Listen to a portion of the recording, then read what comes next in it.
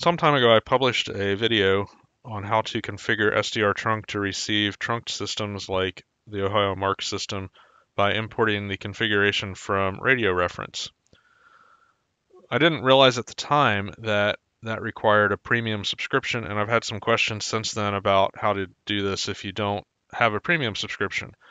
People seem to struggle with that a bit, so I'm going to put this video up to show how to do that. When we first start SDRTrunk, it's totally unconfigured. So this is a clean install of SDRTrunk, nothing, nothing set up. And you can see it's just on random frequencies. It looks like somewhere in the FM broadcast band at the moment. So how do we find out what frequencies we need it on? How do we configure that, etc.? Well, we'll start off with RadioReference again. Notice that I am not logged in. I am not signed in at all. I'm just in anonymously. I'm even in a uh, private browsing window to make sure that I don't have any extra privileges here. I'm going to go to the database, RadioReference database, and then I live in Hamilton County, Ohio, so that's where I'm going to demo this for. Other systems obviously may have some differences. I can only tell you what I've experienced personally, so you may have to adjust this based on where you live, but hopefully this will give you a pretty good starting point. I'm going to browse. I'm going to go to Ohio. I'm going to click on Cincinnati, and that takes us to Hamilton County. Now on here, what I'm looking for is this Hamilton County trunked system right here. So the Ohio MARCS IP multi-agency radio communications. I'm going to click on that. And we can see that it's a Project 25 Phase 1. APCO 25 is the way that it works. So the first piece of information that I need are frequencies. The good news is, is that I only need the control frequencies. And so in my case, I want to find the control frequencies for Hamilton County, which are right here. And so I'm going to position this so that I can easily, whoops, so that I can easily see them. And then I'm going to go into my SDRTrunk. I'm going to open the playlist editor. And then I'm going to go to my channels. And now if I get it so that I can see both of these on the screen at the same time, I can start to set up a channel. So I want a new channel. It's going to be a phase or a P2 P25 phase 2 trunk system. We're going to call the system Ohio MARCS IP. The site, I'm just going to call it Hamilton. It's not really important what you call these. And then I'm going to just say uh, Ohio MARCS IP Hamilton. Again, name it whatever you want. And then here's where I need to put in those control frequencies. So I'm going to put in 851.1625. We're going to add 851.250. And I'm going to add 851.300. And I'm going to save this. Now, this is actually um, operational at this point. I'm only going to show you this very briefly because it's going to pick up all kinds of stuff, some of which I don't want to republish on YouTube. But if I do this right now, it's going to show me, it's going to start playing all of the playlists for me. Oh, you may have to adjust some things down here too, depending on your system. Um, in my case, C4FM is the correct choice. So I'm only going to play this just very briefly, and you'll hear some traffic come through. 3844 Willie Way, cross of. All right. So you could already see it was receiving, um, and I was getting talk group IDs on my left, and you couldn't see it, but there was also talk group IDs here in the in the right. And you can also see that it's retuned to the correct frequencies to pick up um, my channel. So that's a quick check to make sure that I've got it set up right. Um, but I don't want to hear everything going on in the state. That's not what I'm interested in. So we need to set up an alias list. So we can do a new alias list here. And I'm just going to call this Hamco aliases. Again, call it whatever you want. Uh, I don't know if I have to save that or not, but I will. And then I'm going to go over to the aliases tab here. Choose my alias list and then I need I need to start adding aliases. So two things you need to know. With the Ohio MARCS system, well, any system, you can probably get the talk groups on the RadioReference page. I'm on the same page I was on before. Here's where I got the frequencies from. But then here's the list of talk groups. What you can see if you notice here, let me clear my search results. I'm here on the page. There are a lot of talk groups on this system because it's a statewide system. Now, if I had the premium subscription to RadioReference, I'd be able to just import these directly um, and that is what I demonstrated in my other video, and that is the easiest way to do it. But if you don't have the premium subscription and you don't want to purchase one, it's okay. You can still make this work.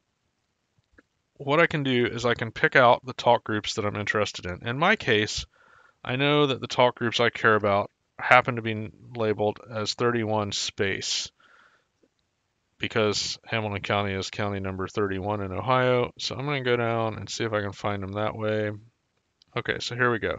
So I found the 31s. So here's 31 common.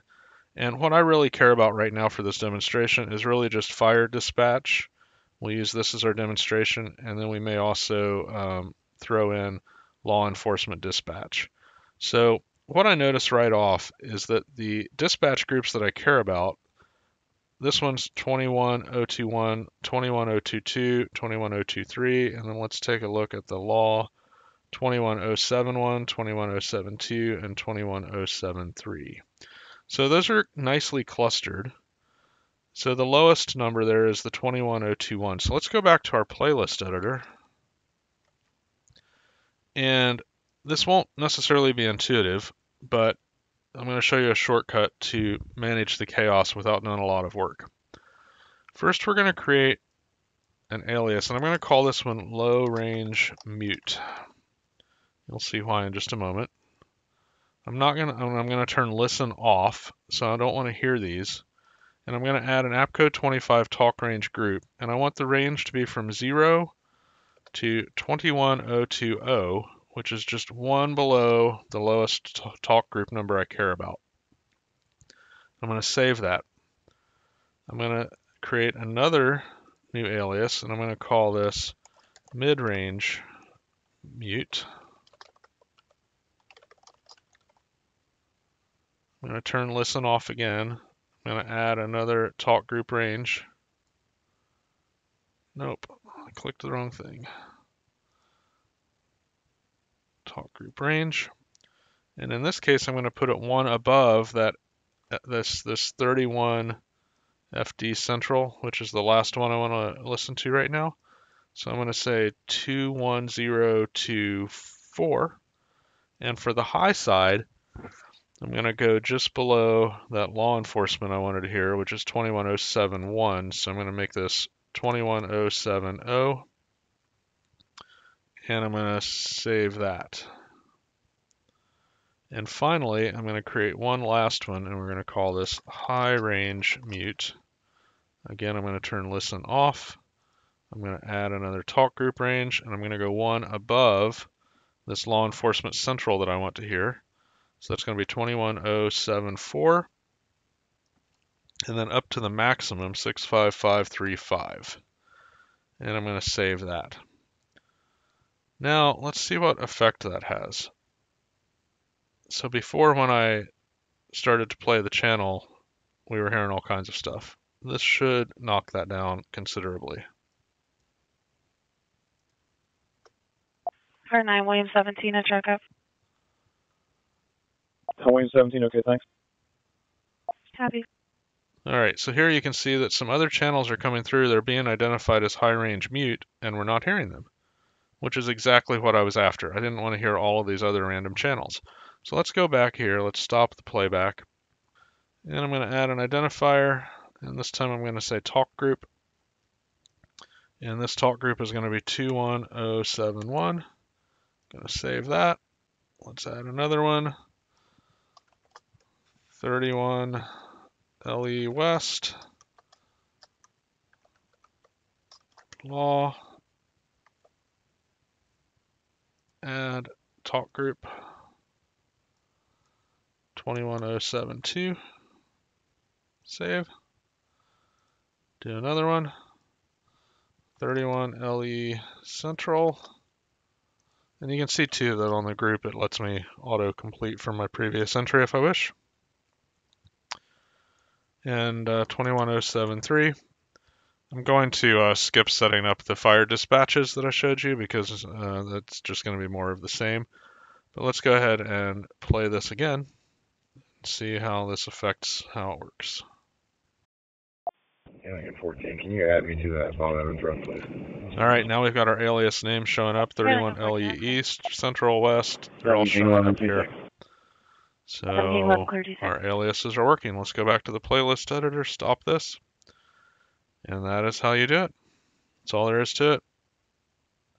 Um, as a bonus, I'll mention if you know how to do text file manipulation, if you have software development experience or are just really good with uh, text editors and, and macros and automation and such, there is a shortcut.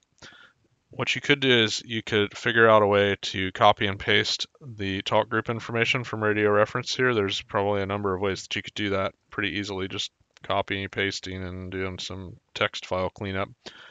And then these alias lists are all just stored in your playlist configuration, which is an XML file. On Windows, it's under the users directory. So in my case, C colon users, and then my username. And then there's an SDRTrunk directory that gets created. And under that, there's a playlist directory. And then you'll find the playlist file as an XML file in there. If you open that up, it's pretty trivial to see how the format works. So you could automate populating your playlists um, or your alias lists rather that way. All right. Hopefully this was helpful to you. Thanks for watching.